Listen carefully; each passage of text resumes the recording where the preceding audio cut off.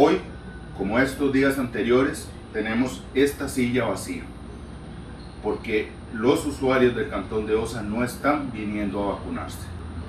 Así describió el director de enfermería el ausentismo para vacunarse contra el COVID-19 que se presenta en el Hospital Tomás Casas de Ciudad Cortés en Osa. Las autoridades en este centro médico volvieron a hacer un llamado para que las personas vayan a colocarse la vacuna. Eso significa para la seguridad social afectación en recurso humano, en equipo y principalmente en dosis de vacunas.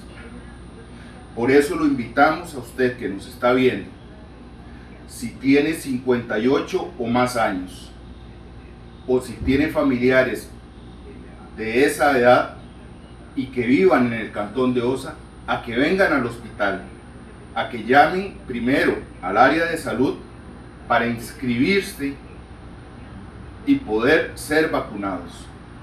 Durante el martes, el ausentismo llegó al 25% y el miércoles subió al 35% en este hospital de la región Brunca. Lamentablemente no tenemos, no contamos con el recurso humano para ir casa por casa. Necesitamos que usted venga previa inscripción al área de salud para vacunarse y protegerlo del COVID.